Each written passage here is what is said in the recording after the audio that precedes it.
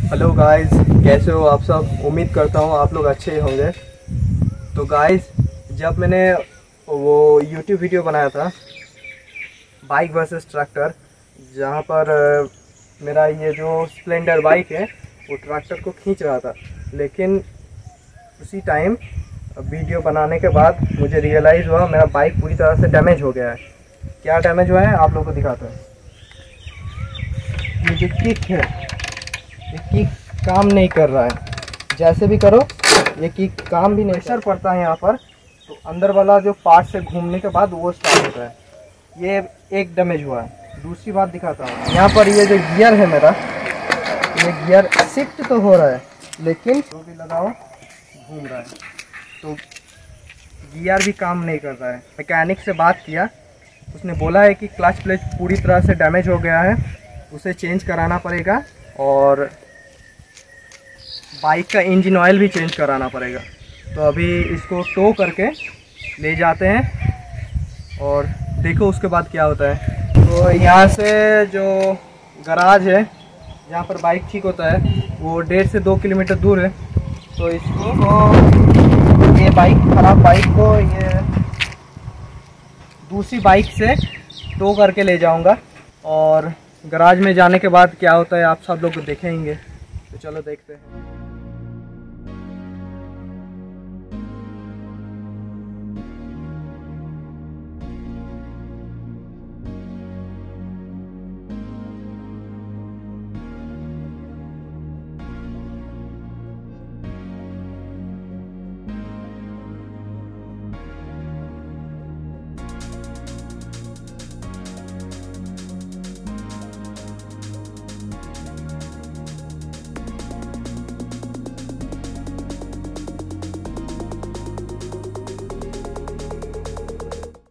तो दोस्तों, अभी मैं बाइक को लेकर गराज आ गया। मैकेनिक ने सारा सामान डिसअसेंबल कर दिया है।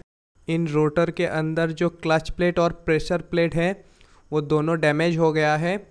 इन दोनों प्लेट्स को चेंज कराना पड़ेगा। तो अभी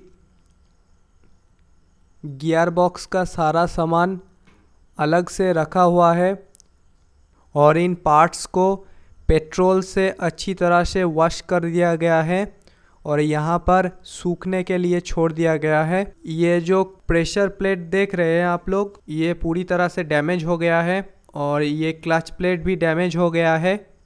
इन प्रेशर प्लेट और क्लच प्लेट को नया मंगाया है। अभी इन दोनों को लगाएँगे अंदर और आप लोग टाइम लैप्स का फुटेज एंजॉय करो।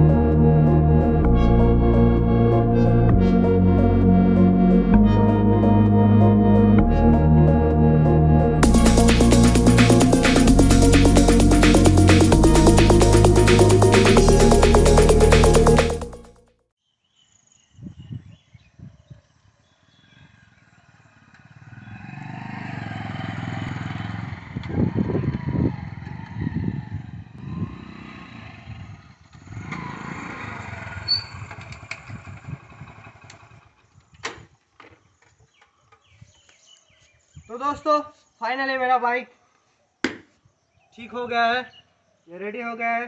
फिर से एक्सपेरिमेंट करने के लिए आप लोग तैयार रहें, फिर से मज़ेदार एक्सपेरिमेंट आएगा। जय हिंद।